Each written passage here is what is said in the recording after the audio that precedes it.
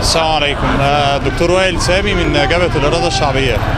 نازلين ليه النهارده يا كابتن؟ والله إحنا نازلين النهارده بعنوان ليلة الطوارئ آه، إحنا عندنا استياء من يعني تفعيل قانون الطوارئ بهذا الشكل آه، اللي بيدي فرصة لقمع الحريات وقمع المظاهرات وقمع أي نوع من أنواع التعبير عن الرأي في في مصر بعد الثورة.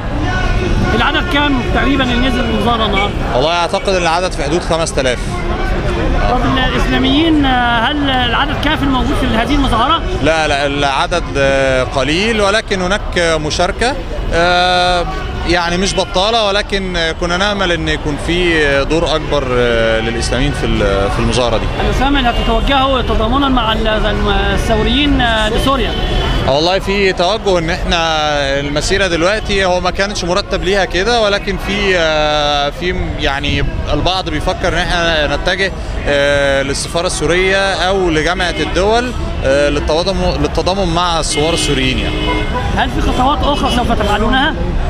آه، والله حتى الآن إحنا بنحاول يعني في اجتماعات مستمرة آه، للبحث عن آه، أساليب للضغط على آه، المجلس العسكري من أجل آه، ظهور خارطة طريق واضحة للمرحلة ال- المقبلة إن شاء الله دكتور إيه الاتجاهات الاسلاميه التي لم يعني تتحرك لرفع قانون الطوارئ أو لأي فعاليات فعلوها من أجل هذا القانون؟ والله نتمنى إن آه، يحصل تفاعل أكبر من كده بكتير آه، خصوصا إن آه، يعني يا ريت الاسلاميين يت- يتذكروا إن إحنا أكتر حد بيضار من من هذا القانون ويعني إحنا نسعى إن شاء الله للتضامن مع نعمل وقفة للتضامن مع أبو يحيى طبعا كلنا عارفين القصة بتاعته آه، ربنا إن شاء الله يعني آه، ينجيه ويطلعه إن شاء الله. هل في فعلا وقفه يوم الجمعة لأبو يحيى؟ والله آه، في احتمال ضخم جدا. إن شاء الله يبقى في وقفة حقيقية للتضامن مع أبو يحيى يوم الجمعة إن شاء الله. شكرا شكرا. عفوا عفوا. تعرف على حضرتك؟ مهندس سيد عبد الفتاح منسق عام للائتلاف الاسلامي الحر. أهداف نزول النهارده للمظاهرة. السلميه الأهداف هي الأهداف اللي هو ال- ال- المعلنة اللي هي لا لقانون الطوارئ، لا لمحاكمة المدنيين أمام المحاكم العسكرية، لا لقانون منع الاعتصامات والاضرابات. طب هل تقريبا العدد كان كام؟ العدد النهارده كان يفوق مثلا 3000 أو 4000 ممكن يكون عدد كبير يعني ممثلين. ما قولك في عدم نزول بعض الطائرات الإسلامية خاصة الإسلامية التي التي هي من رأس أو ال- الرئيسيين الذين يعانون من قانون الطوارئ أنا طبعا ألومهم جدا إنهم في عدم نزولهم النهارده. إن أكتر ناس عانت من قانون الطوارئ هم الإسلاميين. أنا أتعجب جدا من عدم نزولهم النهارده لي- ليقولوا ليقولوا لا لقانون الطوارئ. طب هل في فعاليات أخرى ستفعلونها؟ والله أي فعاليات إن شاء الله هنشترك فيها بالنسبة لقانون الطوارئ نحن ضد قانون الطوارئ وسنقف ضده بكل ما أوتينا من قوة.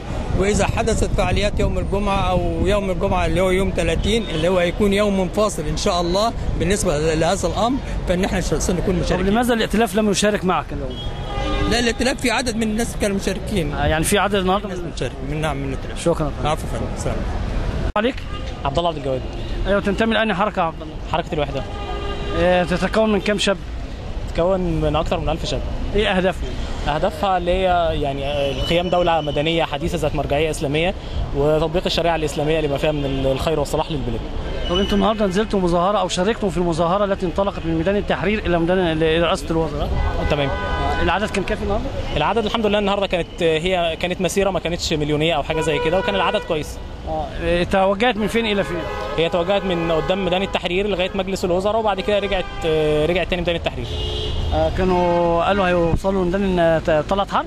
آه وصلوا لغاية ميدان طلعت حرب وبعد كده خلاص المسيرة انفضت لأن هو كان مرتبطين بميعاد من 4 ل 6 طب هل في مظاهرات أخرى أو مشاركات أخرى؟ هو في مسيرة إن شاء الله احتمال تبقى الأسبوع ده زائد إن هو إن شاء الله إحنا بننسق يعني موافقه قدام جامعة الدول العربية الجمعة الجاية. هتبقى مناصرة للشعب الفلسطيني وملف الامم الملف المقدم من الدولة الفلسطينية للأمم المتحدة. ده هتبقى ال- هتبقى من الساعة واحدة للساعة واحدة ونص للساعة 3 ونص. وهيبقى برضو مناصرة للشعب السوري واليمني. لماذا ميدان مصطفى محمود؟ لا هي جامعة الدول العربية مش قدام مصطفى محمود. آه. طيب عدد الإسلاميين الذي شارك في هذه المظاهرة أظن عدد قليل؟ لا لا هو عدد يعني نوعا ما كان ما شاء الله كان معانا ائتلاف الشباب السلفي وجبهه الاراده الشعبية آه، السلفيين التحرير السلفيين العبور آه، إحنا حركة الوحدة آه، كان في مجموعة أنصار الدكتور عمر عبد الرحمن كان في مجموعة كويسة يعني. طب تقول إيه الحركات التي لم تشارك أو تنادي حتى بمظاهرة أو وقفة لرفع حالة الطوارئ؟ هو رفع حالة الطوارئ المفروض إن الحركات الإسلامية تكون أكبر الحركات ال- يعني آه، يكون عندها استنفار منها أو استنفار ضدها اللي هو آه، أكتر أكتر ناس اتضرت منها اللي هو الحركات الإسلامية. فالمفروض إن هي أكتر ناس تبقى قائدة لرفض قانون الطوارئ وتبقى هي اللي موجودة ولها الفعاليات. آه، النهارده شفنا مثلا يعني ال- الحركات الليبرالية أو الحركات الثانية موجودة معانا بس الحركات الإسلامية كانت حركات معدودة وكده. فالمفروض إن هو أكتر ناس اتضرت في الفترة اللي فاتت دي كلها هي الحركات الإسلامية والشباب الإسلامي. فالمفروض إن هو الناس دي تبقى هي اللي ليها الوجود أكبر على الشارع. شكرا فندم. العفو فندم.